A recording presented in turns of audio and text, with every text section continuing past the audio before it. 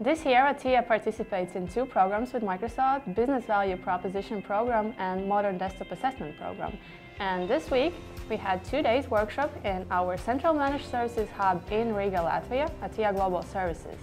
And the main purpose of this training is actually to engage technical and also more business-oriented teams to serve our customers and provide even better message around modern workplace, modern management, and uh, allow our customers to enjoy all the nice perks of Microsoft technology together with Atea's managed services. Well, it's the first time I'm, I'm conducting the workshop uh, for Atea. I'm really thrilled and, and, excited to be here.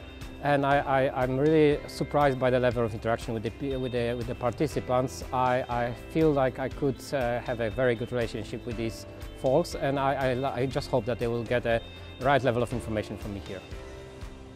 I enjoyed this workshop uh, because it shows how Microsoft sees the future and uh, how we can improve our services to fit uh, actually the vision of the Microsoft. It's been two really interesting and productive days here with Microsoft. Uh, first day was more theoretical and uh, about research data that Microsoft has gathered about the clients that are using modern desktop management and how they are using it.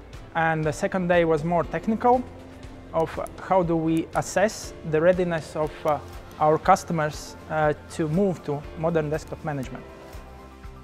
Yeah, so I've been cooperating with Atea before on development of their uh, devices as service offering, and I have to say that it's amazing to work with you guys.